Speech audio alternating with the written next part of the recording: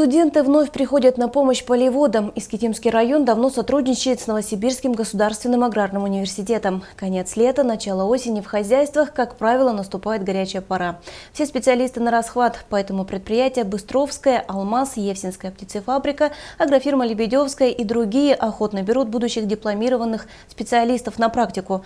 Всего в этом году в районе набираются опыта 24 студента. Четверо из них в АО «Быстровская».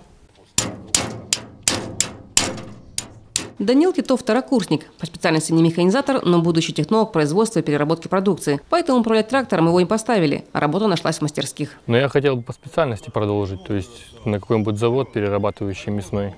Вот. То есть у меня не получилось самому выбрать, и поэтому меня деканат отправил сюда. Ну, ничего не пожалел.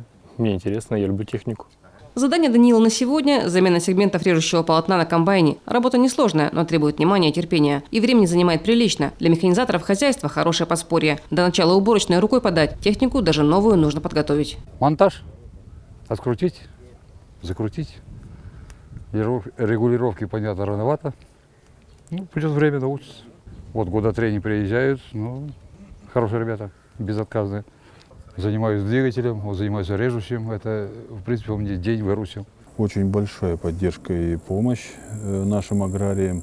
Ну и, конечно, это прежде всего для ребят э, прохождение настоящей практики.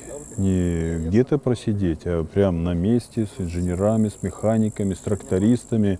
Они проходят азы, самые нормальные, это из них получатся настоящие инженера, настоящие механики. Ребята приехали из разных мест, но уже подружились. Они присматриваются к работе и условиям труда, а руководители хозяйств приглядываются к студентам. В ответственных молодых сотрудниках здесь очень заинтересованы. Проблем с трудоустройством не будет. Главное, чтобы выпускники сделали выбор в пользу работы на земле.